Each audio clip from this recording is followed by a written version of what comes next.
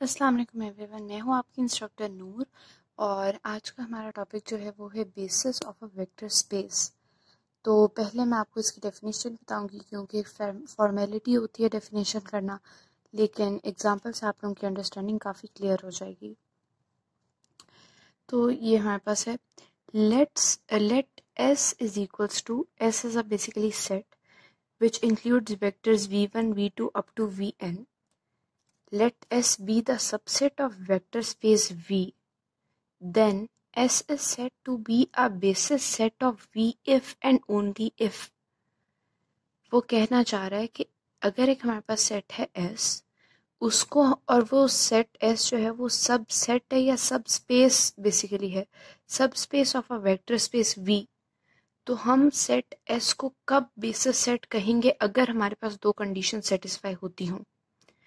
अगर तो span S V की इक्वल हो, और दूसरी कंडीशन हमारे पास है कि अगर तो एस लीनियरली इंडिपेंडेंट हो। लीनियरली इंडिपेंडेंट का मतलब मैंने आपको बताया था कि अगर हम एस के एलिमेंट्स को इन लीनियर कॉम्बिनेशन लिखते हैं, और हर वेक्टर के साथ एक कांस्टेंट मल्टीप्लाई हुआ होता है, और अगर वो उस कांस्टेंट की वैल्यू ज़ीरो हो तो हम कहेंगे कि वो वेक्टर्स जो हैं, वो लीनियरली इंडिपेंडेंट हैं। ये था बेसिकली लीनियरली इंडिपेंडेंट का कॉन्सेप्ट कि ये हमारे पास लीनियर कॉम्बिनेशन है। अगर इसमें ये constant a one a two and a k ये ज़ीरो हों तो हम कहेंगे v one v two and v k linearly independent vectors हैं। तो यहाँ पे पहली कंडीशन ये है कि span of S is equals to V और दूसरी कंडीशन ये है एस इज़ लीनियरली इंडिपेंडेंट पूरा सेट ही लीनियरली इंडिपेंडेंट हो।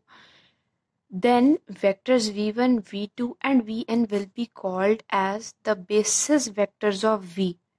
अगर ये दो कंडीशन सेटिस्फाई हो रही हैं तो हम इन जितने भी वेक्टर्स हैं सेट एस के अंदर उन सब वेक्टर्स को कहेंगे कि ये हमारे पास हैं बेसिस वेक्टर्स इनको हम कहेंगे basis vectors of set V तो ये थी आज की वीडियो जिसमें मैंने आपको बेसिस सेट का कॉन्सेप्ट दिया।